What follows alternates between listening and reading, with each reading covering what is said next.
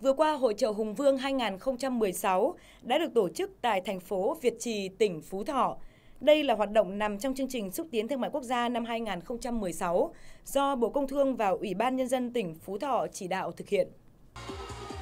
Nằm trong chương trình xúc tiến thương mại quốc gia, Hội trợ Hùng Vương 2016 là một trong những hoạt động quan trọng trong chương trình Dỗ Tổ Hùng Vương lễ hội đền Hùng.